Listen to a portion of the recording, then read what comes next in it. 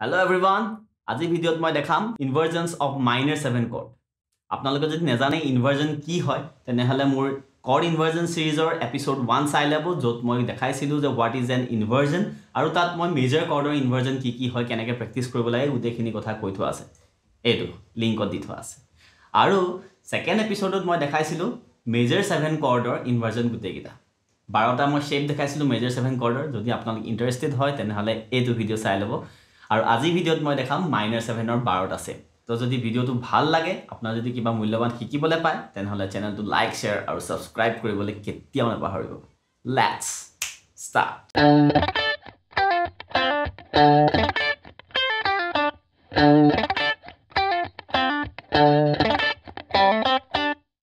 মাইনাৰ ছেভেনৰ ফৰ্মুলা হ'ল one flat three five flat seven আজি মই এক্সাম্পল হিচাপে জি মাইনাৰ ছেভেন লৈ লওঁ জি মাইনাৰ ছেভেনৰ নোট কেইটা হ'ব? ওৱান নোটটো হ'ব মানে আমাৰ ৰুট নোটটো হ'ব জি তাৰপিছত আমাৰ ফ্লেট থাৰ্ড নোটটো হ'ব আমাৰ বি ফ্লেট ফাইভ নোটটো হ'ব আমাৰ ডি আৰু যোনটো আমাৰ ফ্লেট ছেভেন নোট হ'ল সেইটো হ'ল এফ আৰু প্ৰথমতে মই দেখাম ৰুট পজিশ্যন ৰুট পজিশ্যন কাক কয়?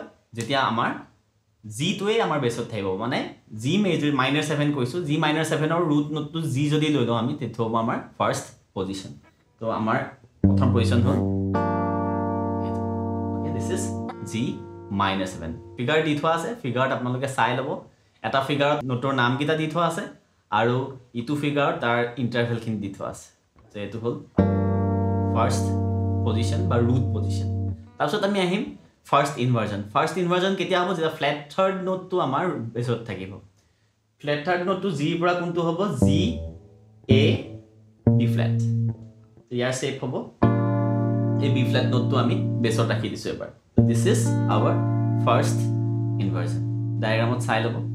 তাৰপিছত আমাৰ আহিব ছেকেণ্ড ইনভাৰ্জন ছেকেণ্ড ইনভাৰ্জনত কি হ'ব? ফিফ্থ নোটটো বেছত থাকিব। তো এইটো ফ্লেট থ্ৰী ফ'ৰ ফাইভ তো আমাৰ flat three sorry flat three four five আমাৰ বেছত আমাৰ থাকিব তেতিয়া ডি নোটটো থাকিব।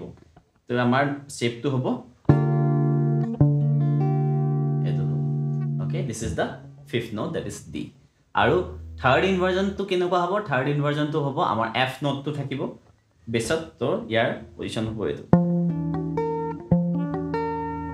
অ'কে তো বজাবলৈ অকণমান টান মোৰ কেৰাঙুলিটো ছুটি নাপায়গৈ।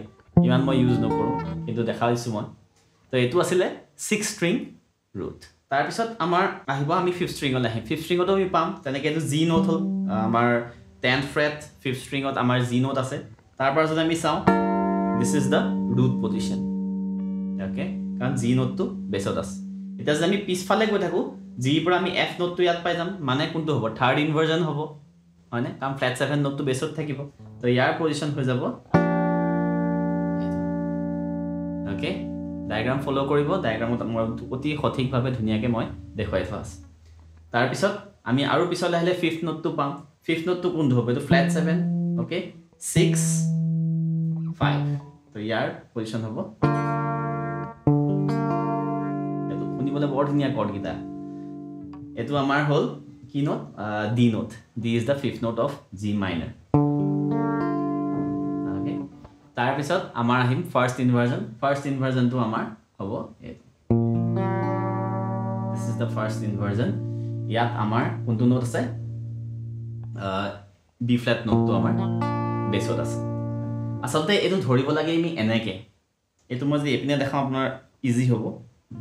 ধৰিবলৈ। এইটো কৰ্ডটো শুনিবলৈ বৰ ধুনীয়া কিন্তু অকণ ধৰিবলৈ টান কাৰণ আমাৰ ছেকেণ্ড আৰু থাৰ্ড ফিংগাৰ মাজত এটা ফ্লেটৰ গেপ থাকে। তো এইটো কৰ্ড প্ৰেক্টিচ কৰিব শুনিবলৈ বৰ ধুনীয়া হয়।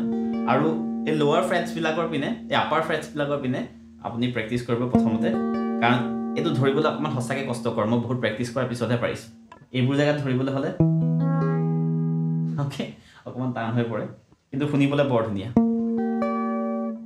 কিন্তু এইপিনে কৰিবলৈ হ'লে আমাৰ সহজ হয়।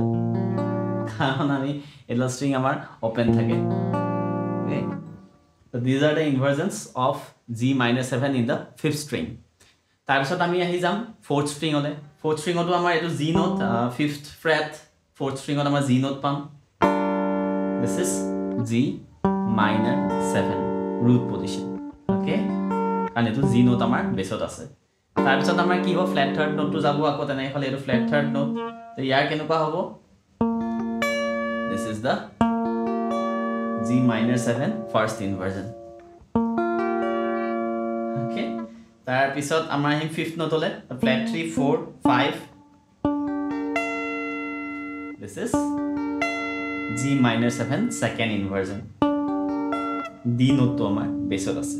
আৰু লাষ্টত ফ্লেট ছেভেন নোটটো আমাৰ এফ নোটটো আমাৰ বেছত আছে this is G minor seven third inversion একেটা বস্তু আমি ধৰিব পাৰোঁ তো প্ৰেক্টিচ কৰিব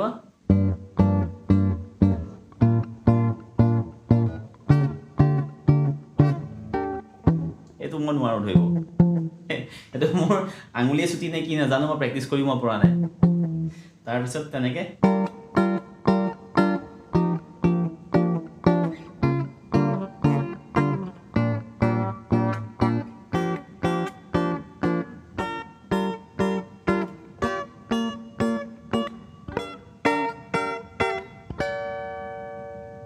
এনেকৈ মেট্ৰনম লগাই পেলাই প্ৰেক্টিচ কৰিব শ্বেপকেইটাৰ লগত ফেমিলিয়াৰ হ'ব তেতিয়া আপুনি সোনকালে সোনকালে চেঞ্জ কৰিব পাৰিব। তো আশা কৰোঁ আজি ভিডিঅ'টো ভাল লাগিলে।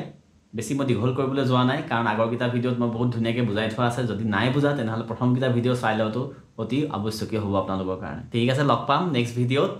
আৰু কিবা কিবি নতুন এটা কনচেপ্ট লৈ পেলাই তেতিয়ালৈকে বাই বাই আৰু ছাবস্ক্ৰাইব কৰিবলৈ নাপাহৰিব।